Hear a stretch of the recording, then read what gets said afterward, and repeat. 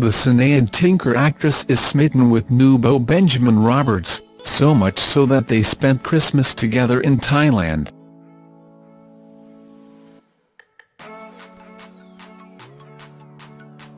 And Katie McGlynn has been sharing plenty of snaps from their first holiday as a couple, describing their Christmas together as kooky.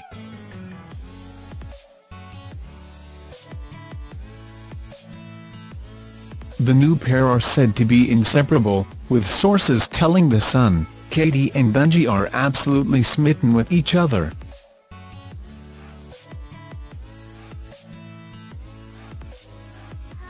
They've been seeing each other for a while now and their friends joke they're inseparable.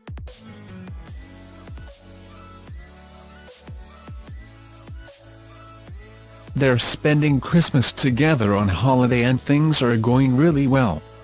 The publication also claimed the 21-year-old is a holiday park caravan and lodge salesman.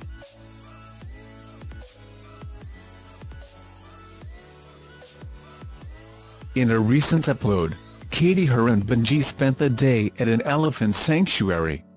The Coronation Street star shared a sweet picture with her new beau, proudly posing alongside an elephant as they help bathe it.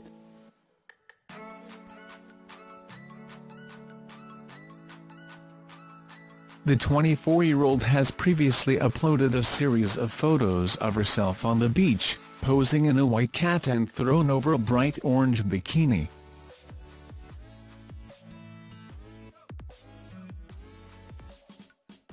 Katie also posted a selfie alongside her boyfriend, showing off her natural looks in a no-makeup selfie.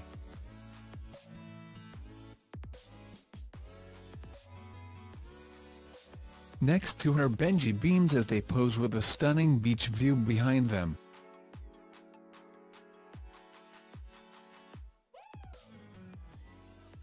Thanks for watching. Don't forget to like, comment your opinion, share this video and subscribe to my channel. New videos are uploaded every day.